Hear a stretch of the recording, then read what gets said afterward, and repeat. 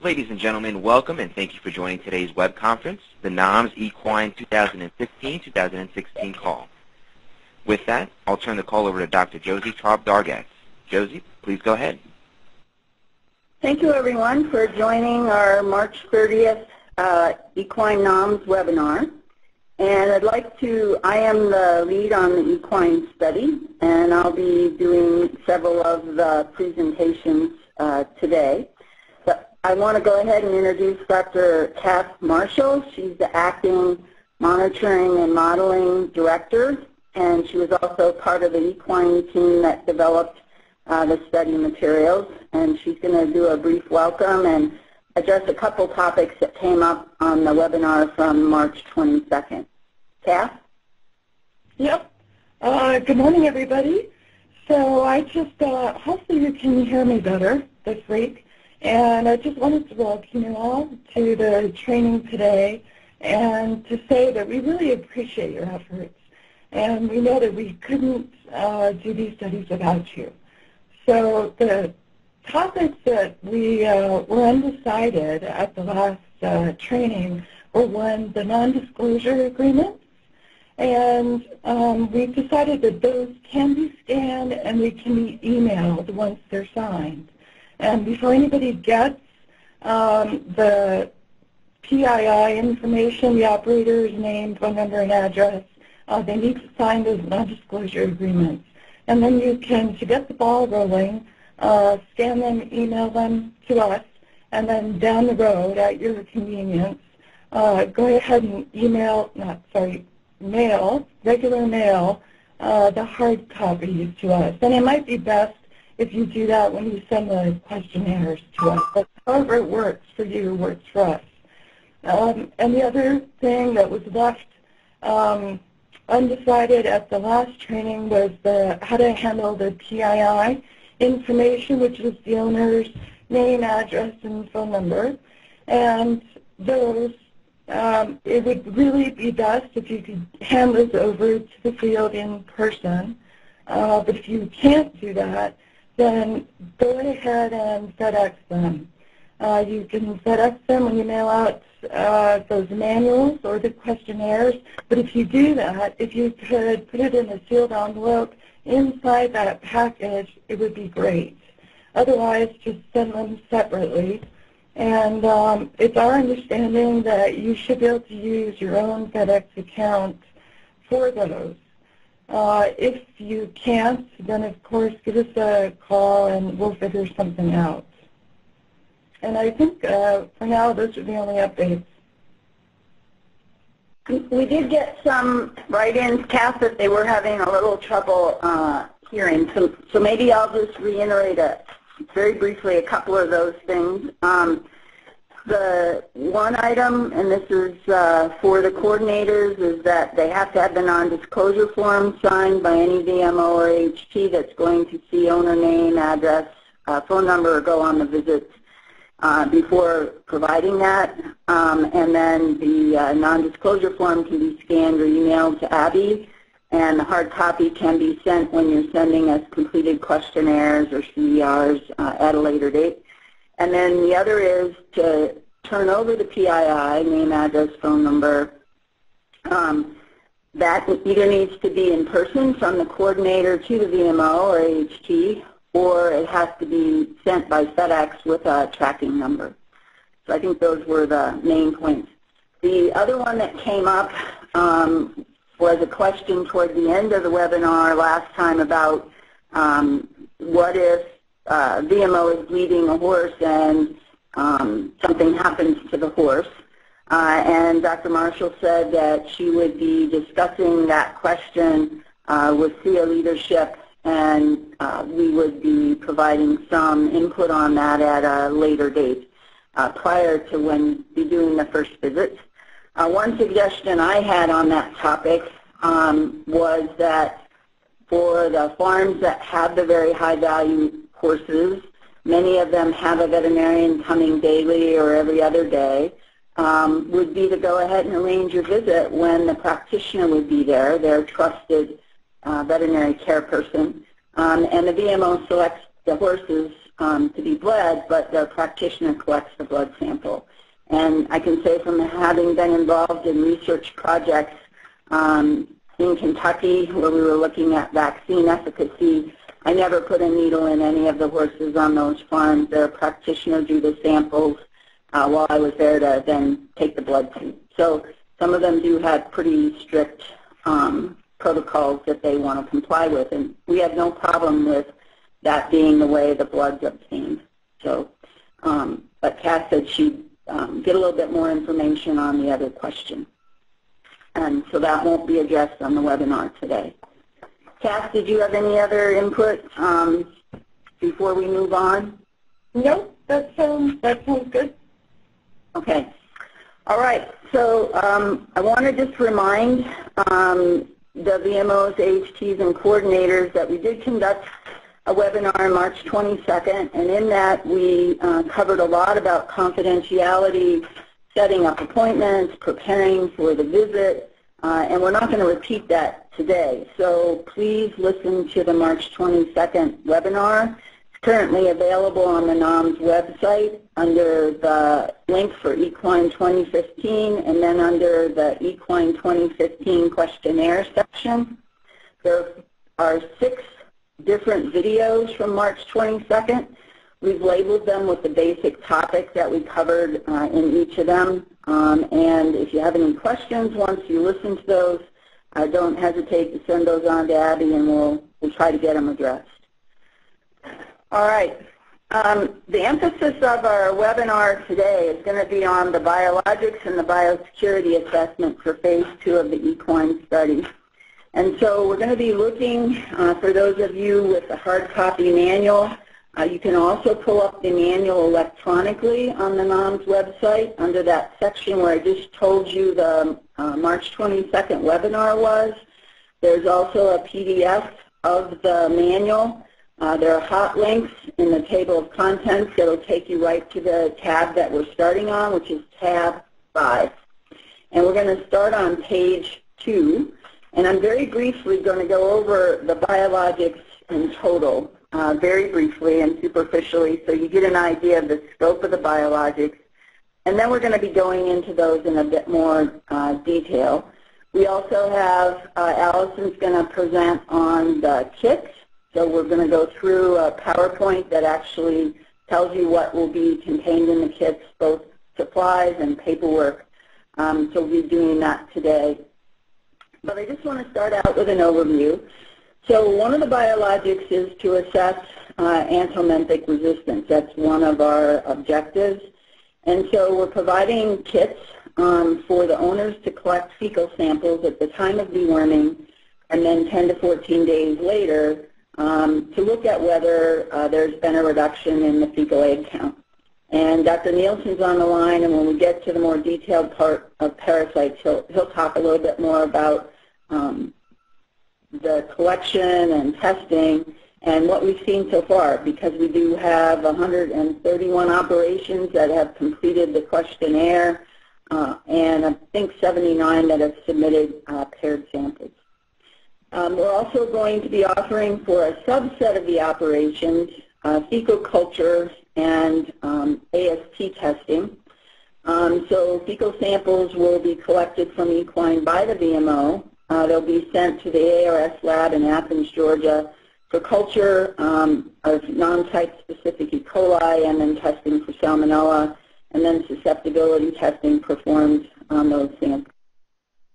We're also going to have the VMOs do a tick exam on up to 10 equine, most likely to have ticks uh, collect a representative sample of ticks from each equine, and those will be submitted to the National Veterinary Services Lab for identification. And then uh, we also are asking um, that blood be collected. It's on a sliding scale based on the number of equine. And the goal here is to create a serum bank for future research. Uh, there'll be no testing as part of the NAHMS study itself, although we may um, do some research uh, based on those serum samples that will be uh, collected. So the VMOs will be collecting blood um, on the equine while on the operation. And then there's the option for a biosecurity assessment. And this is a VMO AHT um, visualizing various aspects of biosecurity while they're on the operation and completing a checklist. Um, and um, a report will be created from that. And then there'll be reports, and that's on uh, tab 8, and we're not going to go there right now. But just to clarify, um, the participants will get uh, multiple reports based on um, what we've just talked about. And we see this as an incentive for participation in the study.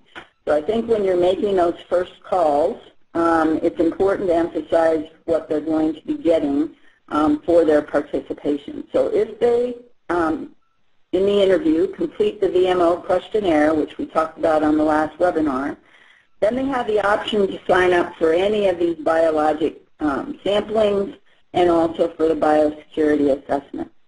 Uh, if they do the tick part, they'll get a report um, of the tick exam and identification of the ticks that are collected if there are any ticks found on any equine. If the 10 animals examined have no ticks, they're not going to get a report because they'll know none were found. But if we find even one tick, they'll get an exam report and they'll also get identification of those uh, ticks. The parasite testing, they'll get pre and post deworming uh, fecal egg counts for strongyles. Um, they'll also get a report on ascarids, and then Martin reports any other parasite eggs that are found, and we do generate a report. For those operations that are selected to participate in the antimicrobial resistance salmonella um, testing part, we are going to report salmonella test results as positive or negative, and then salmonella serogroup. We're not reporting the susceptibility testing. And then the biosecurity assessment will also be a report that will come back to the participants. So quite a few things that they're going to get out of their uh, participation. Okay, so let's move to um, page four. And that's the timeline for the study. So essentially, you're going to be doing these biologic collections um, at the same time that you're doing the questionnaire. And the visits to the farms, as we talked about last time, will be anywhere from May 1st through the end of September. If we haven't had the visits completed by then, those will be ones that just aren't going to, to happen. Now, it really is up to the VMO to decide whether the biologics will be done at the same time as the questionnaire or set up a second visit to the operation. And I think for operations that have very few equine, uh, it won't be overwhelming to do the questionnaire and the biologic sampling on the same visit, same day. But if they have a large number of equine, it's going to take a bit longer to complete the questionnaire and to complete the biologic sampling. So really as you um, get that first script information about the type of operation and number of equine, you might be thinking about whether it's going to be a one visit or a two visit um, situation in order to complete the, the testing. There may be operations that only do the questionnaire and don't want to participate in the biologics or they only want to participate in one of the biologics. So how long this visit will take really depends on the number of equine and how many of the biologics and the biosecurity assessment they, they want to participate in. Um, We'll go into the parasite a bit more, but the kits are going to be left by the VMO. The owners collect the pre- and post-deworming fecal samples, and we're going to allow testing um, submission to go on till, till the middle of November. Um, because if you drop the kits off September 30th and, and they're going to deworm in October, we want to capture those, those farms. And then um, the page five, um, Camilla, who's here with us today, created this. It's, it's a very nice flow chart. It really, on one page, summarizes the biologics. Um, and if you're looking for a one-pager to kind of go through it with the participant, this is one that can really help um, them understand the options of what they could participate in. Okay, so let's move on to um, page uh, six. And um, I'm going to go ahead and let Martin um, start to talk about the parasite testing. So that's on page 6 under tab uh, 5. I just want to say just a couple things, and then we'll let Martin um, take off on that. So for the parasite testing, um, the VMO's role is to provide the kits to the operations that have not already participated in the parasite testing. And uh, yesterday I sent to the coordinators the NAHMS IDs for the operations that have already participated in the parasite testing. Um, we need the VMOs to put the NAHMS ID number on the paperwork uh, in the boxes and there's two boxes, one for pre-deworming samples and one for post-deworming. And Allison will talk about that a little more in her presentation. We want you to keep a record of the kit number associated with the NAHMS ID in case for any reason paperwork problems occur. You would have a record of which kit number went with which NAHMS ID. And then we want you to very briefly explain to the owners um, about the sample collection and submission. Uh, we have a very detailed storybook. Um, those are part of your manual um, that you can see. And so far, and Martin can address this, but we've had very good um, understanding by the owners of how to collect the samples and submit them, and, and quite good compliance with filling out the paperwork related to the animal sample. Um, the owners will get a report um, about the test results, and we also have two info sheets that Martin created um, that go out, the general information sheets about equine parasites that go out with the operation results. So Martin, why don't you go ahead and talk a little bit about the parasite part? Yes, and thank you very much. so uh, last time we talked about the, the questionnaire part of, of NAHMS survey and, and, the, and the questions relating to uh, parasitology as well as all the other components.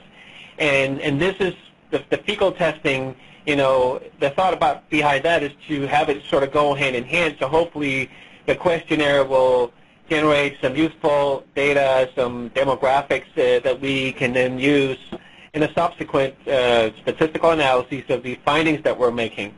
Uh, when we started talking about this project, the whole NAHMS survey uh, a couple of years ago even, you know, um, Josie and others expressed an interest in including some kind of fecal parasite testing as part of the incentive for participants. So, you know, freebie, if you will, that they get out of participating. And I said, yes, but it, you know, the only real value of doing an egg count or egg counts in, in a study like this is to do two counts, uh, one before deworming and one after. And you know, just a single egg count uh, really is not going to, to generate very useful information. We're going to find that a lot of horses have strongyle parasites. We kind of knew that already, so that should not surprise us. And then we're going to find, you know, some of these other parasite uh, categories that Josie also touched upon that we're, we're also looking for in these samples. But all in all, it's really not going to be all that interesting. I mean, there, these counts are, you know, variable, and it could be a lot of factors affecting them, and we would have challenges trying to account for all these possible factors. And looking for regional differences within the United States, you know, are not going to be that that interesting because we just know that parasites, the parasite we're dealing with here, are basically omnipresent. They're everywhere. And, uh, you know, just doing yet another study to document that parasites are found everywhere is, is sort of halfway a wasted effort. So I really said, you know, if we could somehow set up a system where we could collect two sets of samples from all the operations, and that could be useful because that would still give us some information about what the different types of parasites that are found, but more interestingly, how well do the uh, anthelmintic or antiparasitic treatments that people are using, how well do they actually work? And that is really exciting because that NAHMS has not provided this kind of information before. In the 1998 survey, it only included that one single egg count kind of data, and frankly, like I said, that wasn't all that useful. And now, with this setup, all of a sudden we're putting a lot of challenge. We're really relying on all of you people out there, you know, because we want to make sure that each operation does go ahead and collect that second set of samples, which sometimes can be a challenge, and we know that even with some of the beef NAHMS studies, the beef cattle studies uh, that have been done with NAHMS, that this was actually a problem for these managers to go back and identify the same animals and collect them once again after deworming. Now, as Josie just said, you know, the experience we have thus far with just providing written instructions uh, this fall and in the first few months of this year, you know, they're actually very good. Uh, so, you know, credit to uh, Josie and her team for writing very strict and concise instructions and storybooks and all that. Uh, we are pretty confident that when you guys all go out and start making your visits, you're going to increase the response rate even further. Um, so one specific item that's important is for the participants to understand that the testing, the parasite fecal testing, consists of pre and post deworming samples. So that is number one.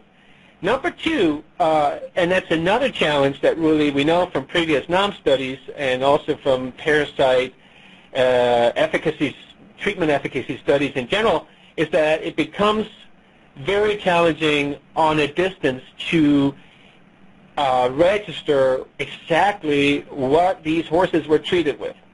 And if that information gets lost somewhere, you know, people go, yeah, we used this uh, blue, the tube, the blue and the white tube, you know, the one we always buy.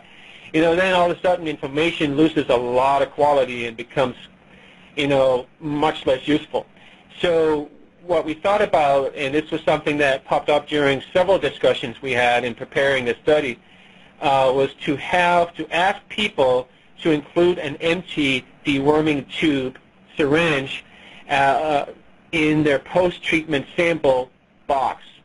And we were, this is, you know, this is not something we've tried to do before, but that was one way we could, you know, specifically identify exactly what brand name and what active ingredient were these horses treated with.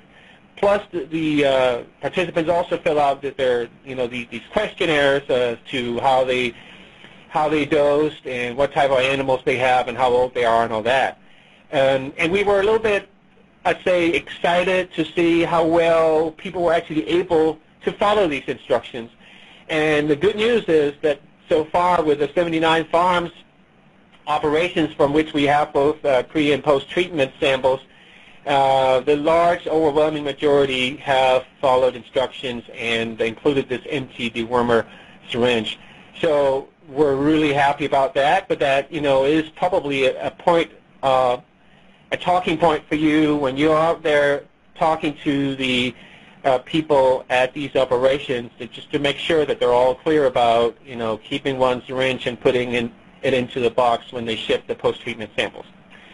And now just for a very brief summary of uh, what we have found so far on these uh, samples, because it's, it's, been, um, it's been quite fun so far. Uh, we have in total, like we said, 79 operations uh, with a total of 456 horses uh, from which we have at least uh, pre-deworming counts. Um, and for the large, large majority, we also have the post-deworming uh, counts as well.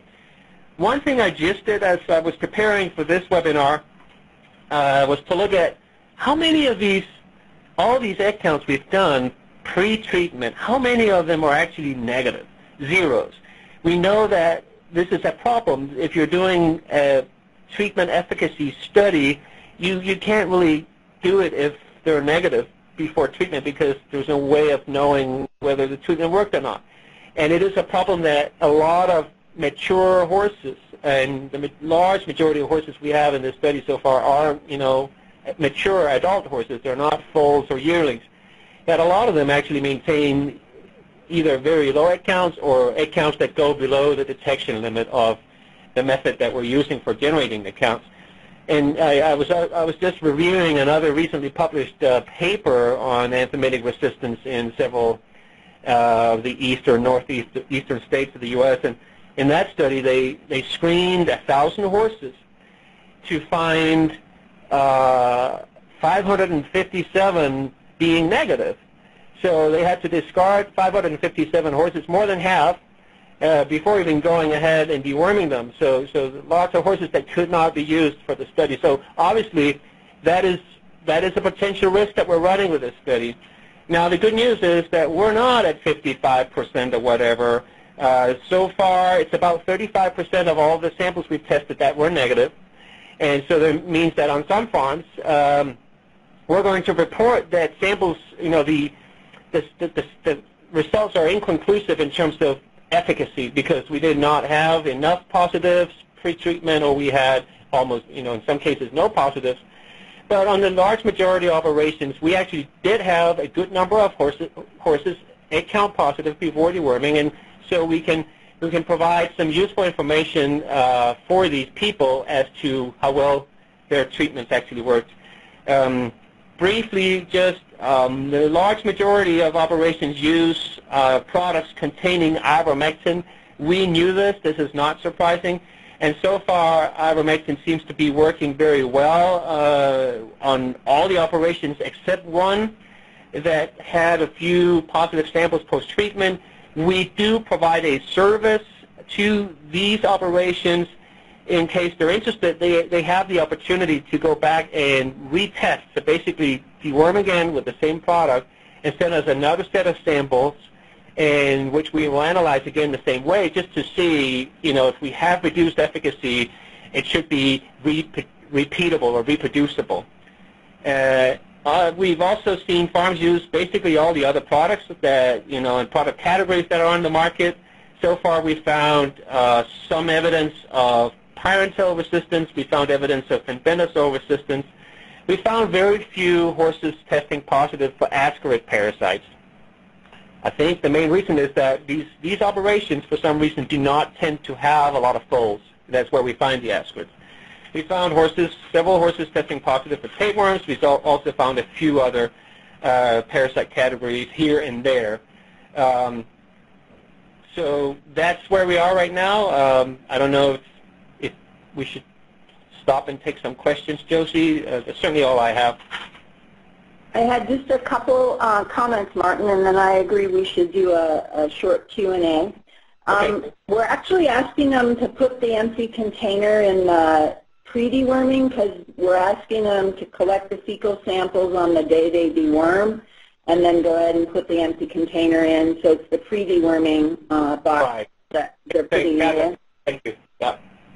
Yep. And um, there is a training module for the VMOs and AHTs on equine parasites that Martin created that's quite good. It is on the NAHMS equine site. I'd encourage you to look at it because there's a lot of background in there and the current recommendations on uh, parasite control in equine is, part of that module. And uh, Abby's working on you being able to get CE credit for viewing the, the training modules. We did have a writing question um, whether the participants needed to complete the questionnaire to be eligible for the biologics, and the answer is yes. They do have to do the questionnaire to be eligible for any of the biologics or the biosecurity assessment. When we sent out the list of operations that have already participated in parasites, um, as Martin said, some of them have not yet submitted samples, but they do have kits so your coordinator will tell you that that's an operation. You don't have to do the parasite section of the questionnaire, but remind them about the kits and remind them about, you know, getting those samples uh, submitted. So Daniel, I think we'd like to go to uh, Q&A um, and remind people on the call how they can do that. Okay, no problem. And ladies and gentlemen, as we move to Q&A, please feel free to place yourself into the question queue by pressing pound 2 on your telephone keypad. You will hear a notification when your line is unmuted. At that time, please then state your name and your question. Once again, that is pound 2 to ask a question over the phone lines.